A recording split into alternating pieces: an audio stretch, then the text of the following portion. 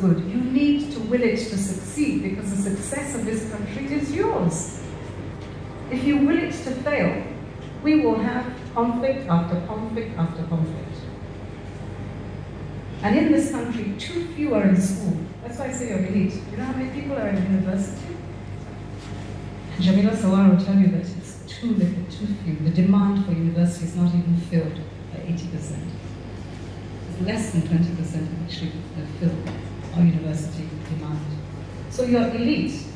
And so if you're telling the rest of the country that this place is more bad than good, so, so my challenge to you is to really to look at it and if you say it's worse than it is good, be good for you to write that down. Good you write it down. And sometimes don't compare yourself to that, please. That's comparing apples and oranges. Compare yourself to a country with equal population who had its independence at the same time and have and had exactly what compare yourself to Indonesia. Because Indonesia has terrorism, Indonesia took our, our oil stream, so Malaysia. Look at that.